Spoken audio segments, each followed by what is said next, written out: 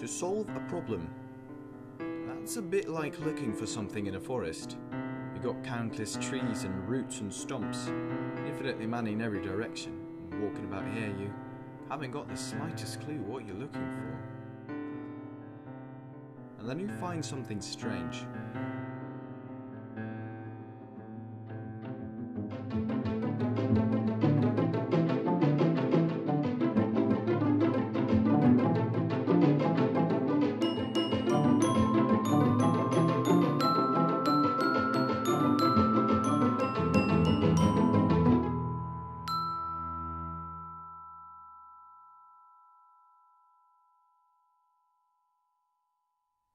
I was born in 1802 in Norway.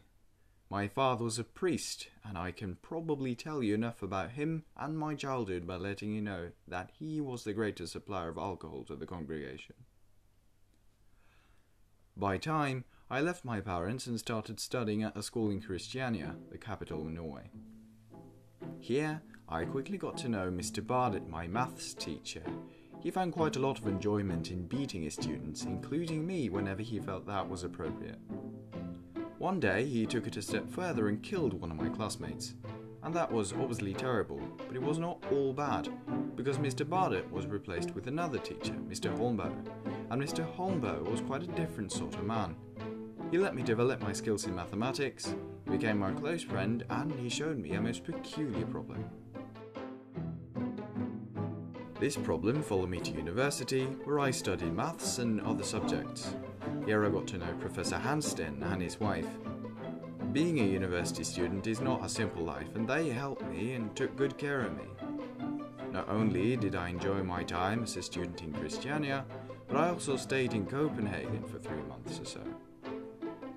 Here, I danced a waltz with a wonderful girl at a very dapper party one night. But I couldn't really waltz, she couldn't really waltz either.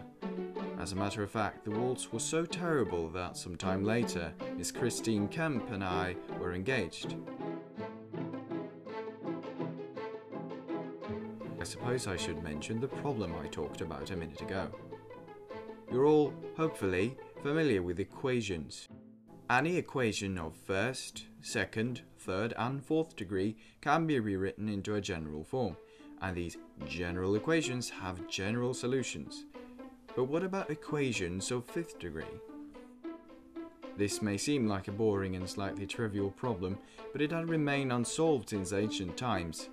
And then suddenly I, a completely unknown mathematics student from Norway, suddenly proves that equations of fifth degree have no general solution. And again, this doesn't seem like the discovery of a lifetime, but it stirred some forces further down in Europe.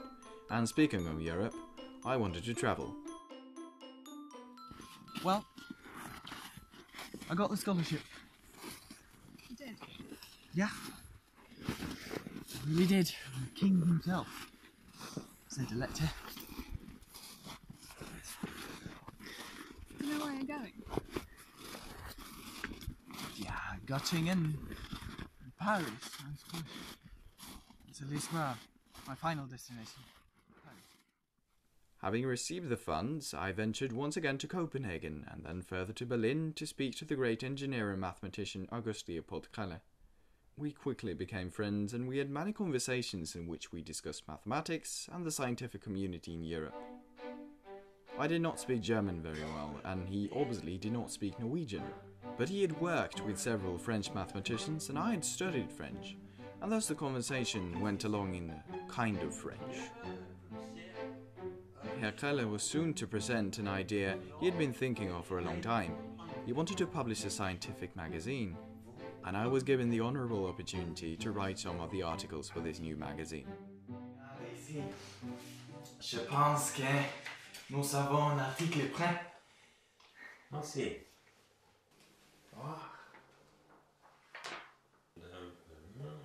The impossibility.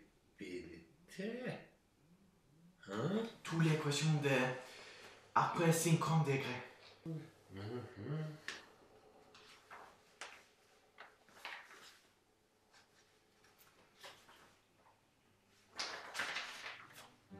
är. Eventually, I had to leave Berlin and venture onwards. I went through Germany to Dresden, and then I ventured on to Prague, and from there onwards, I visited Switzerland and Austria, even Italy. Eventually, I had to turn around, and I went through Switzerland and came to France, and en fin, I came to Paris. Here I was well received by Monsieur and Mademoiselle Cotte, who took great care of me. Having finally arrived in Paris, I could start working on the multitude of ideas I'd dreamt up while travelling through Europe. I started working on a paper on transcendental analytic functions. The greatest paper I have ever written, yet that very same paper would turn out to be the greatest tragedy of my life.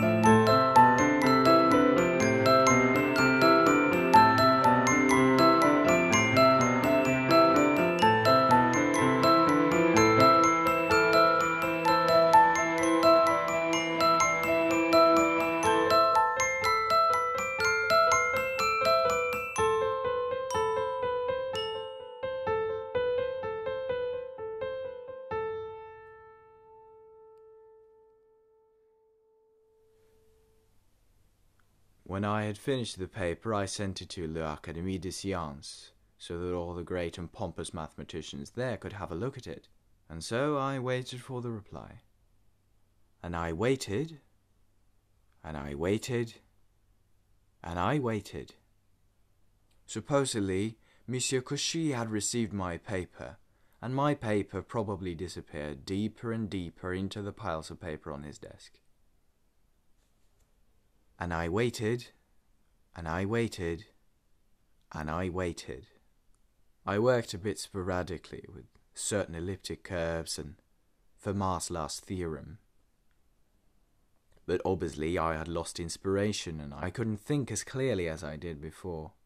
And on top of it all, I was starting to become ill.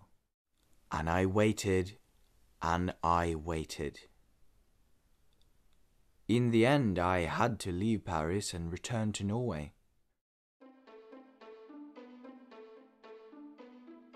I visited Christine, who had gotten a job as a governess. I was so happy to see her because when I came there, I had no job and my life's work was lost forever.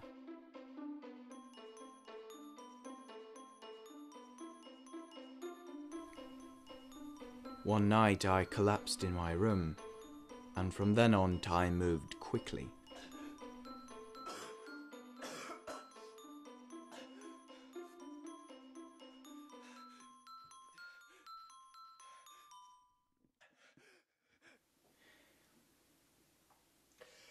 Christine! Christine! You're gonna have to get in here. None of them follow logic string. None of this series. Not even the Taylor series.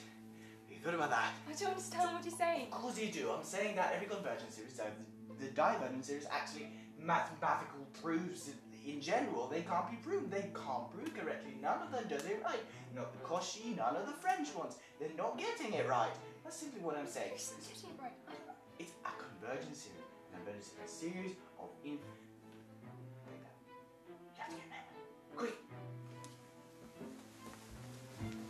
You